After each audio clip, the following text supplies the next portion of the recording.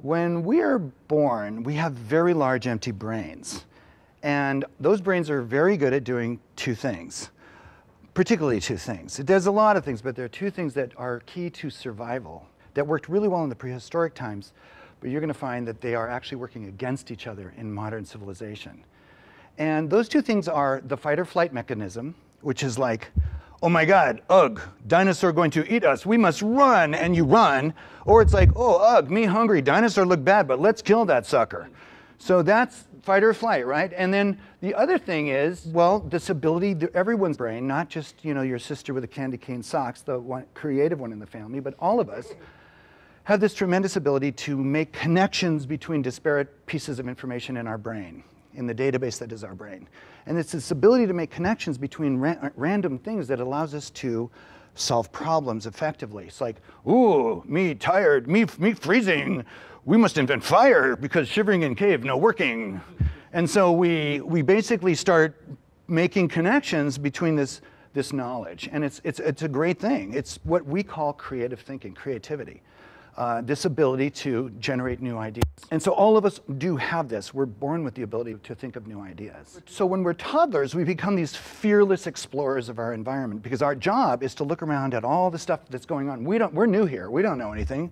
So we start gathering information and parents put everything up really high because you're going to break it, eat it, throw it, or do something you shouldn't be doing with that object and you're basically breaking the rules. And everybody says, well, that's okay because it's a toddler they don't know the rules yet. Once they learn the rules, they will become what's called enculturated. They have learned the rules of society and they know how to behave themselves.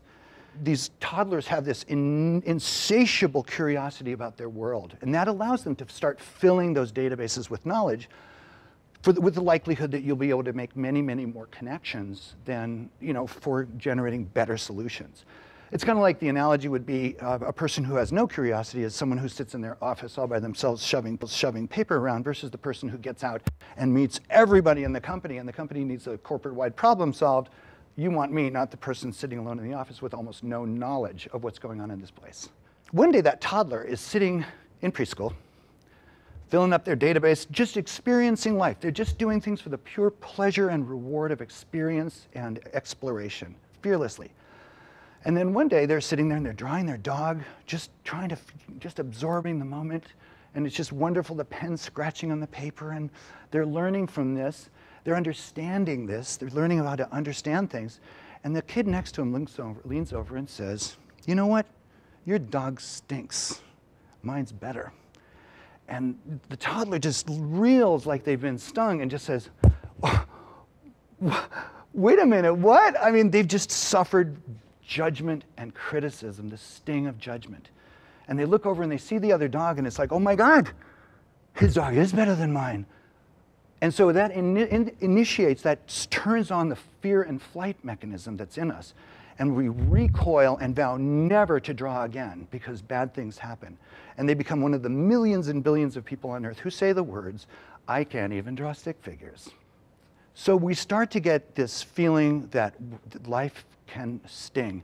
Going into K-12, it just gets worse. 98% of these kindergarten kids in one study test very high for the capacity to generate new ideas, for creative capacity, for making connections in the brain. So for example, your parents, your parents are wonderful. They love you. They want you to not be arrested. They want, every, they, they, do, they want everything for you. They want the American dream. They want their definition of success. They want you to make a lot of money.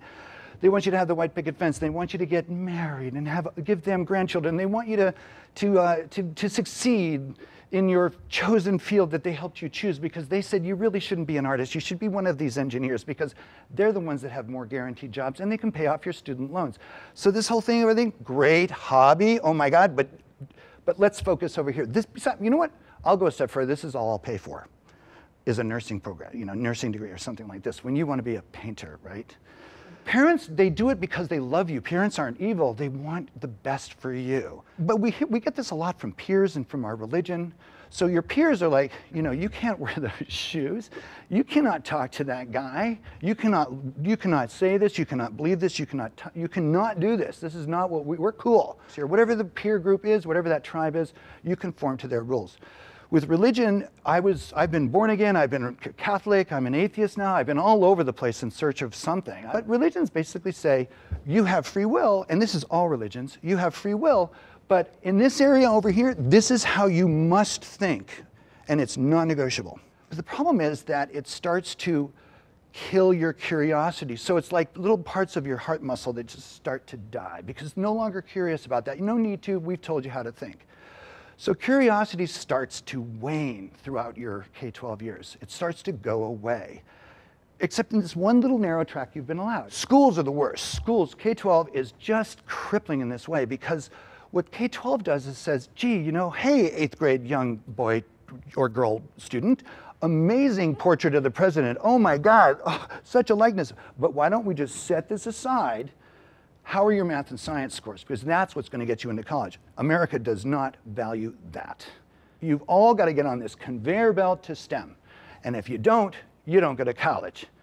And the problem with that is that it, it puts us all into the same exact mold when we're also wonderfully imperfect and unique. It doesn't celebrate uniqueness at all. It celebrates conformity, and that's the way societies work. It wouldn't be a society if, if everybody did whatever the heck they wanted. You need conformists. But what happens is we become, we lose our, our curiosity. The, the interest in filling that database from being that fearless toddler just starts to shrink and shrivel because we've been told how to think in so many ways that we become the amalgam of everybody else's expectation. We're covered in post it notes that say who we are and what we can and can't do, mostly from other people. We've lost our sense of who we are, our individuality. And this can be very crippling to our careers and to our lives.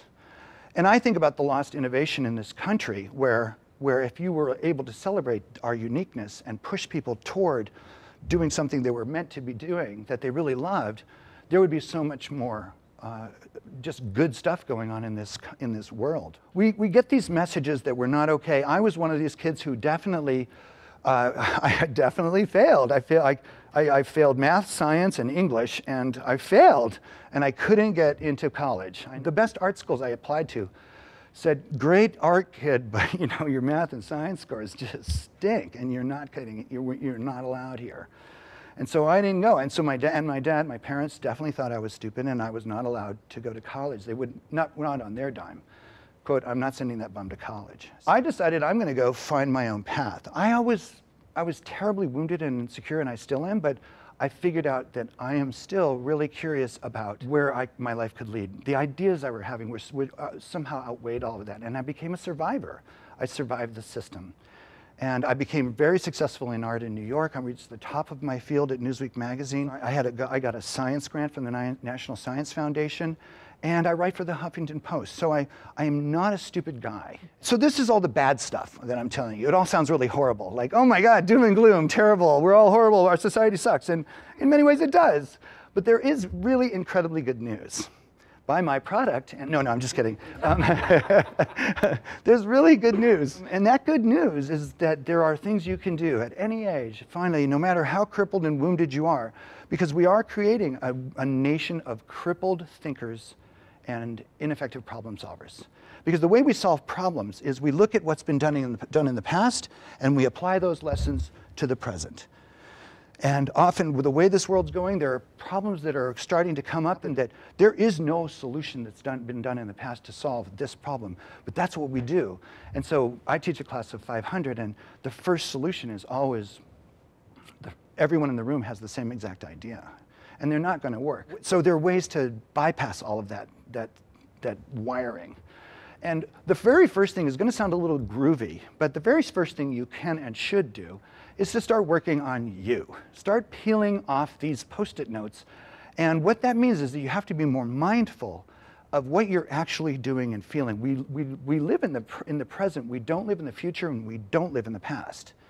And so it's, it, we do so much to deflect what, what's happening inside of us that we, we don't want to think about it because it's always painful. And so instead of ignoring that pain or deflecting that pain and, and distracting that pain, just sit with yourself and actually think about why you're feeling this, what just caused this feeling. So you need to start becoming more mindful of what's going on inside of you. And most importantly, start being forgiving to yourself. You have to start forgiving yourself and recognizing that everyone around you has these horridly powerful expectations, and we're our own worst critics. And so you've got to start being kinder, the kindest person in the world to yourself, loving yourself, and not judging that you're not perfect. We, we are, the suicide rate has never been this high for young people. They're, they're seeing these perfectly curated lives on all this social media, and it's not real. But they think it is, and they think they're the only bozo on the bus. And so the more you can think about yourself and start, this sounds so groovy, but start loving yourself and accepting yourself for all your wonderful imperfections, because we're all wonderfully imperfect. That's an important thing, starting there. And more practically, if you can start challenging the assumptions that you make about yourself, we all have these things that are called limiting beliefs.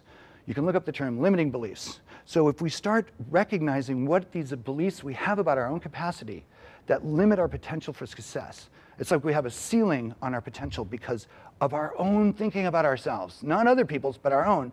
Other people have caused this to happen. Our society has made us into these crippled and terrified thinkers. But if you, the only way path to getting out of this is to actually take a hard look at this. So when you say, oh, it's, there's, there's no reason why I should even try for my master's, I'm not going to probably get a better job anyway. You, these, are, these are assumptions you're making about yourself and they're not true. If you can start ignoring your, that little voice in your head that you don't even know is happening, you will do better. For example, we don't even know that we're living a mediocre life.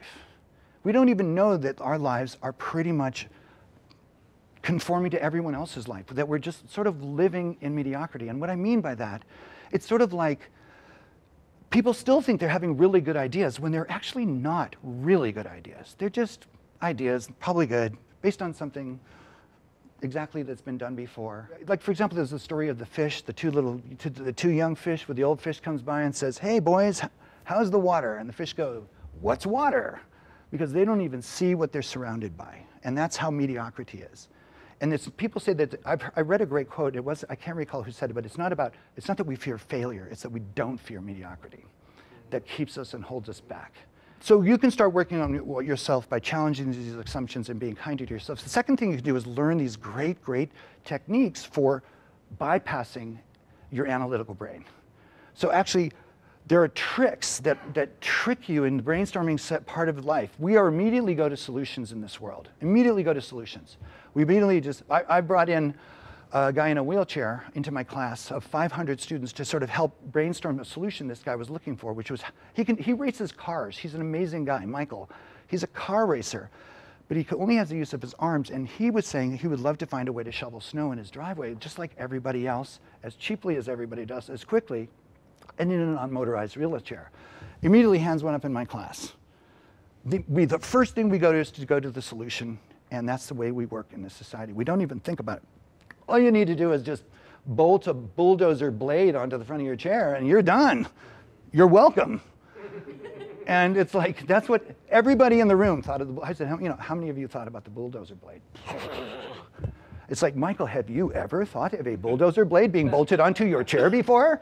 We go right to the solution with we think are great ideas. We don't even see that it's not a good idea.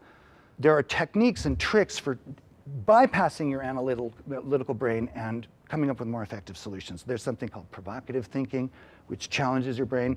There's word association, random association. Try to learn these techniques for thinking, bypassing your analytical, judgmental brain.